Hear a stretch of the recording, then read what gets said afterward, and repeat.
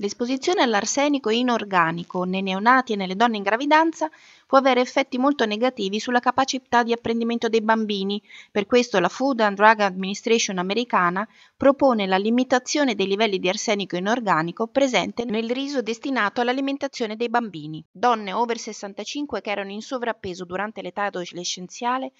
hanno più propensione a sviluppare sintomi depressivi rispetto al genere maschile. Questo è quanto emerge da uno studio dell'Università di Washington a Seattle. Pubblicato sull'American Journal of Surgery uno studio californiano che evidenzia come un paziente su 20 viene riammesso in ospedale entro 30 giorni dalla chirurgia bariatrica a cui è stato sottoposto a causa di infezioni gastrointestinali, motivi dietetici o sanguinamento.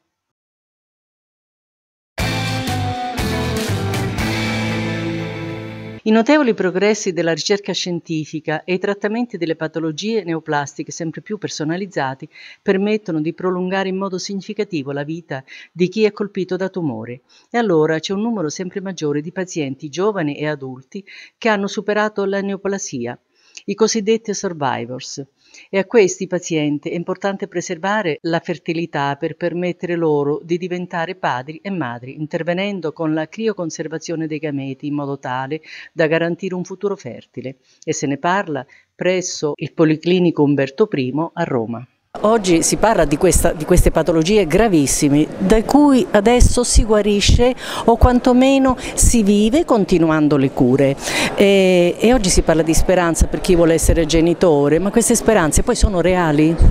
Assolutamente sì, intanto parliamo di una percentuale fortunatamente bassa, intorno al 3% di tutta la popolazione che si ammala di neoplasie, sono sotto i 40 anni e l'oncologo ha il, il dovere di poter fare un'operazione di counseling counseling, ovvero di indirizzare uomini e donne che si ammalano in età così precoce a valutare la possibilità di diventare genitori dopo i trattamenti. Le terapie oggi ci danno grosse speranze, ma anche la possibilità di lavorare con tutti i colleghi della medicina riproduttiva consentono di poter poi far diventare genitori una parte dei nostri pazienti e questo ovviamente oltre il dolore di dover vivere una situazione importante anche di superare un problema psicosociale che non è di poco conto. Ecco, ma l'informazione su questo questi dati così importanti sono a conoscenza anche dei medici di base per esempio? Dei medici di base questo non glielo so dire, ma l'AIOM ha fatto proprio delle linee guida, ci sono delle linee guida proprio sulla preservazione della fertilità e per cui noi oncologi, oncologi abbiamo questo dovere di dover informare e lo facciamo quotidianamente i nostri pazienti ed indirizzarli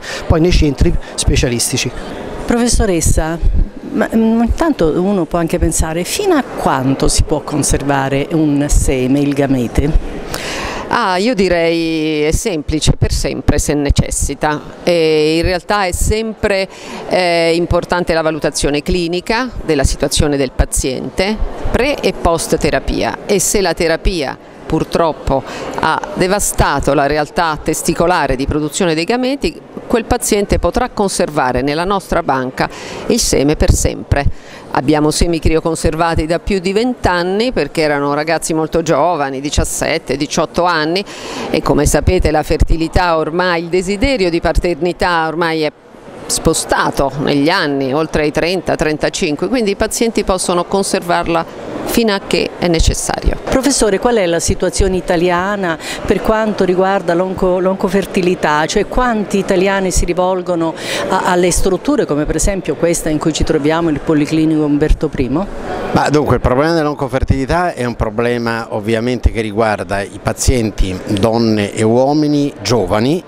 eh, che abbiano quindi un tumore in una fascia d'età compresa fra i 14, 15, 16 anni e i 20, 25, eh, età in cui in generale il paziente ancora non ha avuto una fertilità propria e che vuole crioconservare il eh, seme nel caso del maschio o il tessuto varico o gli ovociti nel caso della donna per poi poterlo riutilizzare dopo eh, la risoluzione della eh, terapia eh, de, della patologia attraverso la terapia e dopo che questo eh, gli ha consentito poi di avere una vita normale fra cui appunto eh, fra le altre cose il eh, desiderio di avere una prole. Allora, i, in questo discorso che io ho appena fatto ci sono alcuni presupposti. Primo, abbiamo oggi la possibilità di far sopravvivere moltissimi dei ragazzi e delle ragazze che una volta purtroppo morivano per le patologie neoplastiche. Oggi un uomo che ha un tumore testicolare, una donna che ha una patologia eh, eh, eh tumorale di qualsivoglia tipo, un uomo o una donna che abbia una malattia ematologica che rende la, la propria fertilità eh, eh, ridotta in conseguenza alla chemia e alle radioterapie, spesso sopravvivono abbastanza a lungo da poter desiderare avere figli, spesso sopravvivono come un soggetto normale. A questo punto abbiamo un altro aspetto, cioè quella della tecnologia che mette a disposizione i, eh, le banche del seme, le banche dei gameti e degli ovociti per consentire di conservare il, eh, la quantità di seme, quindi di spermatozoi o di ovociti necessari poi per poter avere un figlio quando saranno adulti. Rivolgersi alle banche così per, per la conservazione, la crioconservazione è previsto dal sistema sanitario nazionale? Assolutamente sì, la, la banca del seme qui del Policlinico che è attiva ormai dagli anni 90 è a costo zero per il paziente, nel senso che il paziente accede a noi su indicazione dell'oncologo o dell'ematologo direttamente con un sistema di chiamata diretta perché purtroppo in questi casi bisogna essere attivi H24 come si dice in medicina, cioè nel senso essere sempre disponibili per il paziente, con, attraverso un contatto diretto avrà il paziente la possibilità di accedere alle eh, norme di sicurezza che sono necessarie prima di crioconservare il campione eh, di, di, seme perché ovviamente quando noi congeliamo gli spermatozoi congeliamo anche tutto il resto che c'è assieme a loro, quindi se ci fossero dei virus conserviamo anche quelli, quindi bisogna avere una batteria di analisi per evitare che vi siano problematiche, dopodiché si procederà alla crioconservazione e tutto questo avviene in pochissimi giorni per consentire poi al paziente di passare alla fase 2 che è quella della terapia radioterapica o chemioterapica. Alla fine di questo periodo poi c'è un follow up, cioè il paziente viene seguito dal centro per vedere se siamo nei casi più fortunati recupera la sua fertilità spontanea, in quel caso ovviamente la crioconservazione è a tempo limitato, se invece non, la, non recupera la sua fertilità eh, quel seme verrà congelato e conservato fino a quando il paziente non lo richiederà per poter fare un bel bambino con la sua compagna che avrà scelto. Una bella eccellenza italiana. Un'eccellenza italiana, un'eccellenza del, della Regione Lazio dove appunto abbiamo fatto questo convegno un po' per onorare il eh, progetto Fertilità e Futuro Fertile che il Ministro Lorenzini ha messo a disposizione anche proprio in funzione di quello che è il suo piano per la fertilità, un po' anche perché proprio in Regione Lazio straordinariamente abbiamo un'eccellenza antica, se vogliamo chiamarla così, come la nostra banca del seme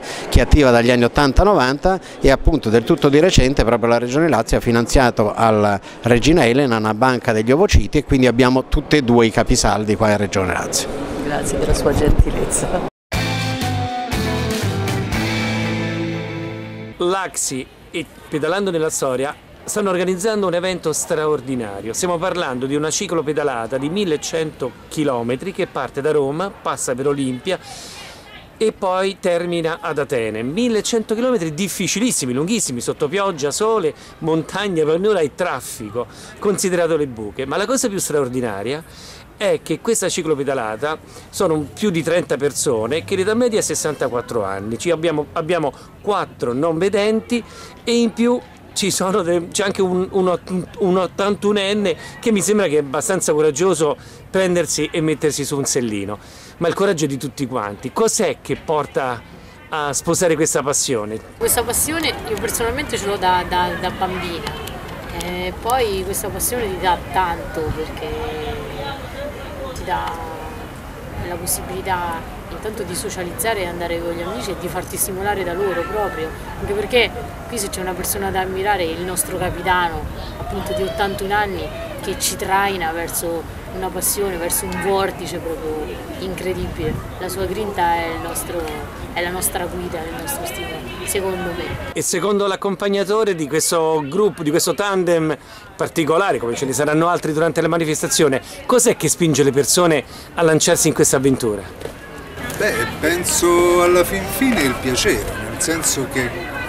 è un hobby, un hobby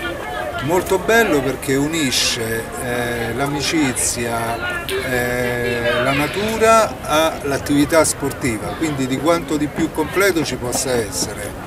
E quindi quando c'è anche l'allenamento poi si sente meno la fatica e si gode di più dell'attività fisica, dell'amicizia e di questa avventura. Cinzia Coluzzi, eh, sappiamo che è un'atleta paraolimpica e quindi ha conosciuto tante manifestazioni e, tante, e tante, tanti sacrifici. Quanto è importante il gruppo in una corsa così lunga, corsa, in una manifestazione così lunga e così impegnativa? Ma in questo tipo di, di attività qui è importantissimo, anche perché il cicloturismo a differenza eh, della, dell'agonismo, eh, il gruppo è gruppo davvero, nel cicloturismo si mangia insieme, si ride insieme e invece nel, nel, nel, nell'agonismo non c'è un gruppo, ognuno eh, è rivale dell'altro, si dice sì la squadra, la squadra ma in realtà eh, ognuno vincere. vuole vincere, no? anche perché l'agonismo si fa per vincere. Invece il cicloturismo è proprio l'opposto ed è il bello perché ti fa godere proprio eh, della vita, di tutto quello che, che la vita ti, ti, ti, può dare. E tra l'altro non da solo ma insieme agli altri. E non c'hai l'ansia della vittoria. Dottor Perugini, lei è l'organizzatore, eh, traina questo gruppo perché praticamente lo spinge a questa avventura qui e inoltre è medico. Quali sono le, gli aspetti più importanti e interessanti perché la bicicletta, in questo caso la bicicletta, fa bene e quali sono invece i punti critici che bisognerebbe fare attenzione a chi si avventura a una manifestazione così impegnativa? Beh, diciamo che tutti i partecipanti eh, io impongo a tutti i partecipanti di eh, essere tesserati con un'associazione sportiva, il che vuol dire aver fatto una visita di idoneità sportiva a livello agonistico. Eh, questa è una garanzia per me come organizzatore ma soprattutto per il singolo ciclista. Eh, il ciclismo fatto al nostro livello è uno sport sicuramente mh, valido dal punto di vista dell'impegno cardiovascolare, muscolare e osteoarticolare eh, bisogna farlo con grano salis, bisogna evitare di strafare, bisogna fare dei controlli eh, periodici ed è quello che io chiedo a tutti i partecipanti a queste manifestazioni. È anche vero che chi si iscrive alle manifestazioni pedalando nella storia è gente abituata da anni a pedalare, cioè gente che sa quali sono le regole eh, da rispettare per mantenere il proprio organismo in, in buona efficienza. il rischio a cui a volte si va incontro è che si tende a volte un pochettino a strafare, ecco, questo purtroppo può capitare, eh, per cui pur di non perdere la ruota dell'amico che ha tre anni più di te, a volte si tende a strafare, a fare la salita tutta e poi a volte eh, questo può mh, creare qualche piccolo problema, però diciamo in linea di massima sono tutte persone eh, esperte, ben equilibrate che insomma grossi problemi non hanno mai creato questo punto di vista. Quanto è difficile guidare un non vedente in, una, in un tour così lungo, in una, in una manifestazione poi così impegnativa? Beh, dipende anche dal non vedente. Nel caso di Cinzia è abbastanza semplice perché lei avendo fatto anche del professionismo è, è molto sensibile, quindi praticamente è come andare da solo, nel senso che ti asseconda in tutti i movimenti, in tutte le curve, quindi al di là di una difficoltà dovuta, tecnica dovuta alla mole del tandem, per il resto le difficoltà sono abbastanza relative. Ecco, stiamo parlando di, della ciclopedalata Roma, Atene e Olimpia che l'Axi organizza insieme a Pedalando nella Storia, è un'associazione storica. Naturalmente Pedalando nella Storia ogni anno fa una iniziativa che è legata a un contesto che in quell'anno si celebra, sia esso storico sia esso di ricorrenza eh, politica, soprattutto se è inserita nel carattere sociale. Quest'anno ricorrono le Olimpiadi e quindi pedalando nella storia ha pensato di organizzare la ciclopedalata per dieci giorni con partenza da Roma e arrivo ad Olimpia nel momento in cui si accenderà la fiaccola olimpica. Questa fiaccola che partirà da Olimpia per arrivare a Rio si celebreranno le Olimpiadi. Quest'anno è l'anno delle Olimpiadi e noi siamo qui anche a sottolineare il fatto che lo sport è un argomento che aggrega, è un elemento che aggrega, è un elemento che unisce anche nel segno dell'amicizia e i fatti che sono successi in questi giorni a Bruxelles debbono segnalare l'importanza dello sport, che lo sport non da adesso ma da sempre ha consolidato sua, questo suo interesse, questa sua voglia di pacificare la gente, è uno strumento importante per la realizzazione della pace. Ecco, proseguiremo anche nei prossimi anni, troveremo l'occasione e la motivazione per portare attraverso lo sport un messaggio di solidarietà, di pace per tutte le popolazioni.